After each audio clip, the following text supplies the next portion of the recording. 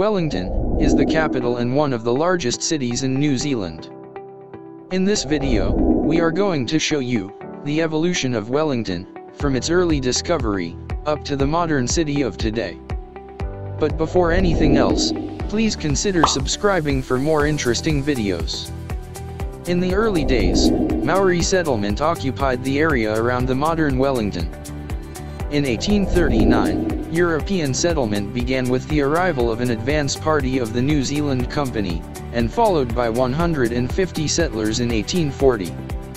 In 1840, Wellington settlers headed the signing of the Treaty of Waitangi between Maori.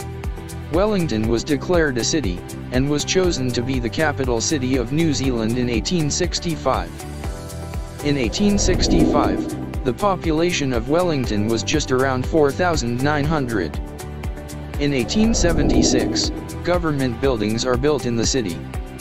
In 1939, Wellington hosted the New Zealand Centennial Exhibition in celebration of the 100 years of the Treaty of Waitangi. In 1960, development sprout to the city, with the construction of roads, bridges, and major infrastructures. Today, Wellington became one of the developed cities, and became the country's transportation and communications hub. So guys what do you think about the future of Wellington? Comment down below, if you enjoy watching this video.